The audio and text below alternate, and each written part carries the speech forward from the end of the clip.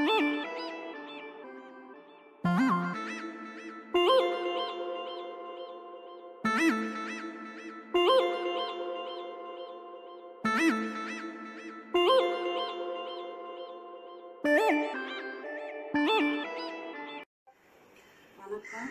நீ செய்ய போகிறது வந்து மிளகு கறி. கறி அவிச்சு வச்சிருக்கு கால் கிலோ. இஞ்சி பூண்டு. இது மிளகு சீரகம் பெருஞ்சீரகம். ஒரு ஸ்பூன் மிளகு ஒரு ஸ்பூன் சீரகம் அரை ஸ்பூனு பெருஞ்சீரகம். எண்ணெய் இல்லாமல் வறுத்து அரைச்சி வச்சிருக்கீங்க. நுணுக்கி வச்சிருக்கு. நுணுக்கி வச்சிருக்கு இது மிளகாப் பொடி. தேவைக்கு கொஞ்சம் போட்டுக்கலாம். கறி மசால் பொடி. பெருஞ்சீரகம் கருவேப்பிலை வெங்காயம். கடுகு உப்பு. எண்ணெய் சட்டியில் ஊற்றி இருக்கு சரி ஆரம்பிப்போமா? காரம்.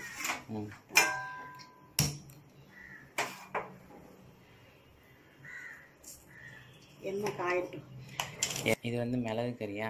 மிளகு கறி. நல்லது இது வந்து எதுக்கு நல்லது? குழம்புக்கும் சாப்பிடலாம் ரசத்துக்கு சாப்பிட்டா நல்லா நல்லா இருக்கும். அதாவது இந்த ஜலதோஷம் சளி பிடிச்சுன்னா சரியா போயிடுமா. ம்.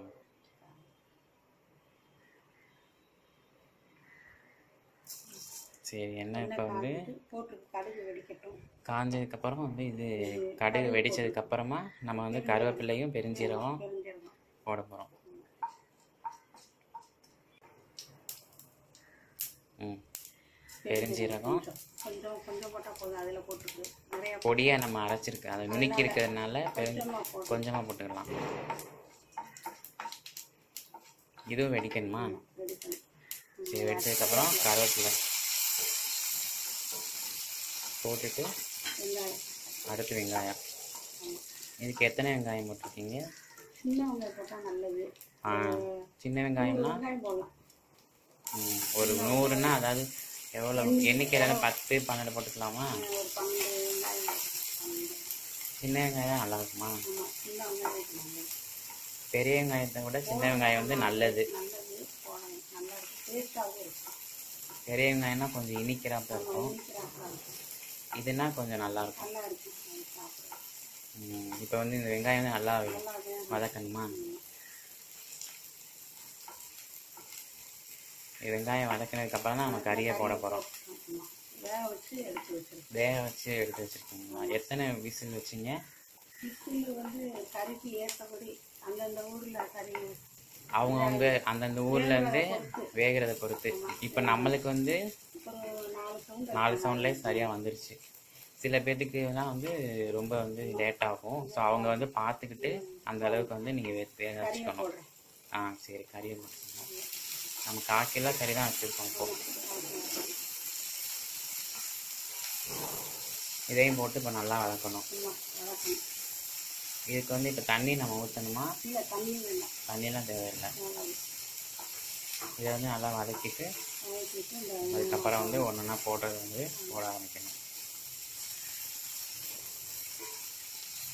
இஞ்சி பூண்டு எப்போ போடுவீங்க? ஒரு ஸ்பூனா? ஒரு ஸ்பூன் போட்டால் போதும்.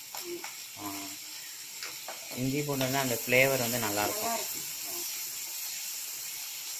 ஈஸியாக செமிக்கவும் செய்யும். அதனால வந்து இஞ்சி பூண்டு போட்டுக்கிறோம்.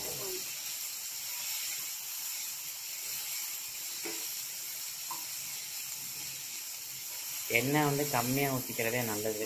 எண்ணெய் வந்து சேர்த்தா சேராது. ஏற்கனவே மட்டன் வந்து கொழுப்புனால எண்ணெய் வந்து கொஞ்சமே போட்டுருந்தாலே போதும். அதுவும் இது நான் சிக்கன்றனால கொஞ்சம் தேவையில்லை. எண்ணெய் ஒட்டாது. நீங்கள் உங்களுக்கு விருப்பப்பட்டீங்கன்னா எண்ணெய் வேணும்னா நீங்கள் ஊற்றிக்கலாம்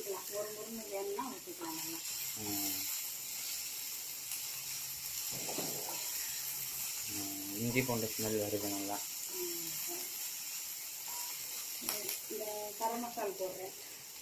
அதாவது மிளகாப்பொடி கறி கறி மசாலா பொடி. கறி மசாலா கரம் மசாலா கறி மசாலா. அது ரெண்டையும் சும்மா மிளகாப்பொடி வந்து சும்மா கொஞ்சம் போட்டுக்கலாம்.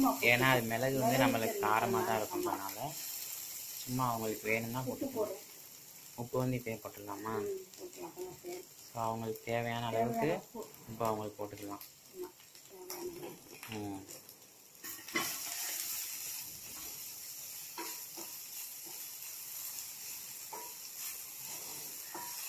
ஸோ இது நல்லா வதங்கணும். ஆல்ரெடி வெந்துருச்சு. இருந்தாலும் அந்த மசாலாவோட நல்லா கலக்கணும். மிளகா போட்டு மிளகு அதாவது மிளகு பொடி. அந்த நுணுக்கி வச்சிருக்கிறத இறக்கிட்டா அவ்வளோதான் மிளகு வறுவல் வந்து ரெடி ஆகிடும் எண்ணெய் ஊற்றி எண்ணெய் ஊற்றணுமா ம் எண்ணெய் ஊற்றிடுங்க ஊடல வந்து நம்ம இதுக்கு என்ன வேணும்னா ஊற்றிக்கலாம். இந்த மாதிரி நம்மளுக்கு தேவைன்னா. இல்லை உங்களுக்கு என்ன வேண்டாம் ஹெல்த்தியாக வேணும்னா நீங்கள் அதில் சும்மா அப்போ போட்ட வந்து ஒரு ஒன்றரை ஸ்பூனு எண்ணெய் ஊற்றிருப்போம் அந்த எண்ணெய் அந்த எண்ணெயே போதும். நீங்கள் விருப்பப்பட்டீங்கன்னா தான். வயசானவங்களுக்கு வந்து தேவையில்லை. சப்போஸ் நீங்கள் யங்ஸ்டர்ஸ் உங்களுக்கு டேஸ்டியாக வேணும் நல்லா மொறுமொறுன்னு வேணும் அந்த மாதிரினா நீங்கள் வந்து ஊடல வந்து எண்ணெய் ஊற்றி இந்த மாதிரி வதக்கிக்கலாம். ஸோ இப்போ வந்து அது நல்லா அந்த மிளகு மிளகு பொடி அந்த மிளகா பொடி கூட வந்து நல்லா அதில் வந்து சேர்ந்துருச்சு. நல்லா அது கலந்து நல்லா கறியில் ஒட்டிருச்சு. உப்பும் போட்டாச்சு தேவையான அளவுக்கு. ஸோ இது இன்னும் எவ்வளோ நேரம் வேகணும்? ஒரு ரெண்டு நிமிஷம்? ரெண்டு நிமிஷம். மூணு நிமிஷம் வேகணும். சரி. ஸோ நம்ம இப்போ வந்து மூணு மூணு மூணு நிமிஷம் வந்து வதக்கியிருக்கோமா? வதக்கி ஸோ இந்த ஸ்டேஜில் இருக்கு இப்போ. இப்போ போட்டுடலாமா.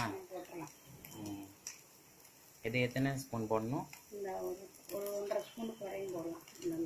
அதாவது நுணுக்குனதுக்கு அப்புறம் வந்து நம்ம ஒன்றரை ஸ்பூனு. நம்ம அப்போ எடுத்த அளவு வந்து அதே அளவு. நம்ம வேணா அதை வந்து டப்பாவில் போட்டு வச்சுக்கலாம். எதுக்காக யூஸ் பண்ணிக்கலாம்? ஸோ இது வந்து இப்போ மூணு நிமிஷம் வந்து நீங்கள் வதக்கிட்டீங்களா?